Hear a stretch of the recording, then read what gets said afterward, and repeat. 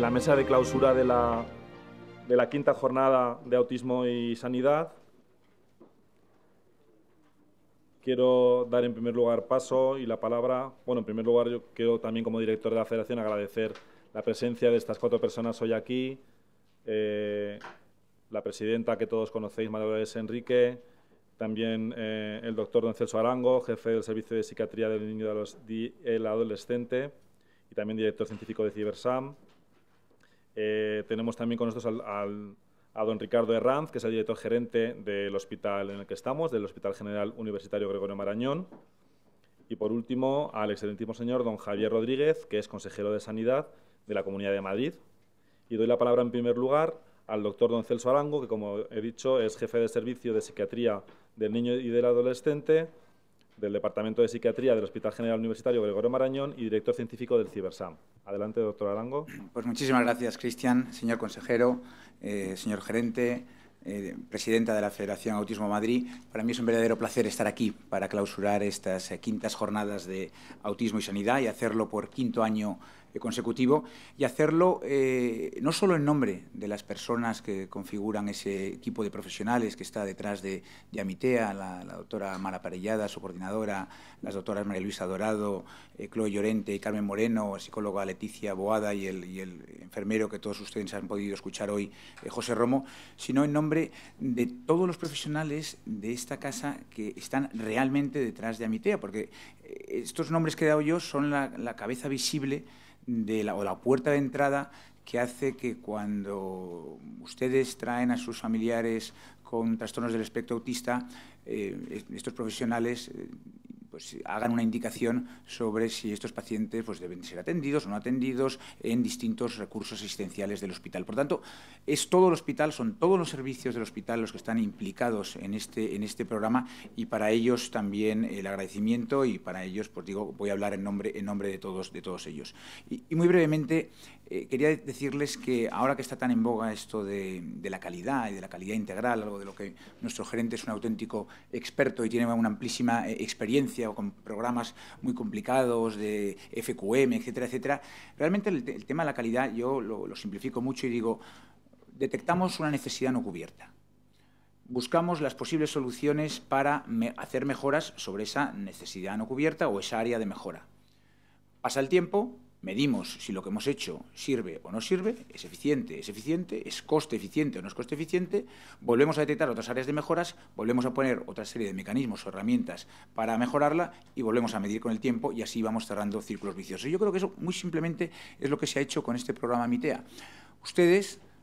las, eh, las familias, la Federación Autismo Madrid ha detectado una necesidad no cubierta. Es que nos guste o no nos guste, y eso nos pasa a todos, el medio hospitalario es muchas veces un medio hostil. Y lo es más para aquellas personas que tienen algunas dificultades añadidas y lo es más para aquellas personas que muchas veces no perciben que van a un sitio donde les van a ayudar con aquellas dolencias o con aquellas patologías que tienen. Encuentran a los profesionales, los profesionales diseñan un programa que puede solventar en parte esas dificultades que, ustedes tienen, se involucra un hospital, las autoridades sanitarias son sensibles y facilitan eh, todo lo que es el desarrollo del, programa, el programa se mide, el programa se mide con parámetros, eh, y como lo han podido escuchar hoy, eh, objetivos, no solo en cuanto a la calidad eh, de, la, asistencia otorgada, sino a la percepción subjetiva que tienen las personas que son aquí atendidas, y se compara con otras dos ciudades, en concreto con Sevilla y con Oviedo, y se ve que eh, la mm, calidad de la asistencia que se da en este hospital a esas personas con trastornos del espectro autismo y a sus familias es mejor, y no solo es mejor, sino que además produce un ahorro, un ahorro en el coste de la asistencia con, con menores medicamentos, menores dosis de medicamento, etcétera, etcétera cual, pues estamos en ese círculo de, calidad tan sencillo, pero yo creo que el programa MITEA es una buena expresión del mismo. Han podido ustedes escuchar que se está haciendo muchísima actividad, estamos probablemente ya cerca de ese punto de, saturación, más de 10.000 personas atendidas en estos últimos cuatro años. Para que se haga una idea, en este último año, eh, estamos en el mes de junio, se han atendido ya 1.200 eh, personas en el, programa, en el programa MITEA y somos conscientes de que desde luego tenemos muchas áreas de mejora y todavía mucho camino por recorrer, o sea que cuenten ustedes con nosotros porque seguro que eh, lo conseguiremos o no lo conseguiremos, pero ahí estaremos para escuchar sus, sus demandas.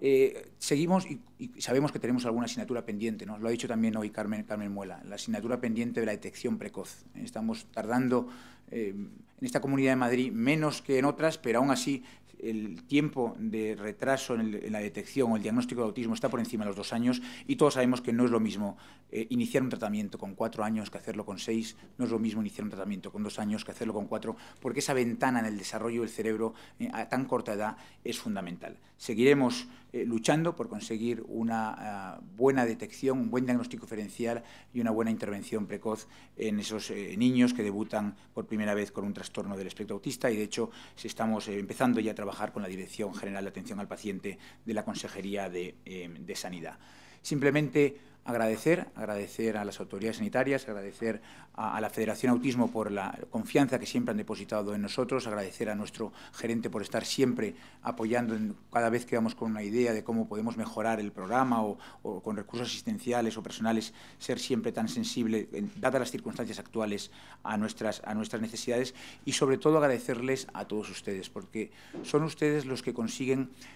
no solo algo que probablemente sea más sencillo, que es que salgamos de nuestras casas y vengamos aquí a trabajar absolutamente motivados y a gusto con el trabajo que hacemos, sino que después de estar aquí 8, 9, 10 horas, volvamos a casa mucho más contentos de lo que salimos y eso lo debemos a que son ustedes un colectivo eh, del que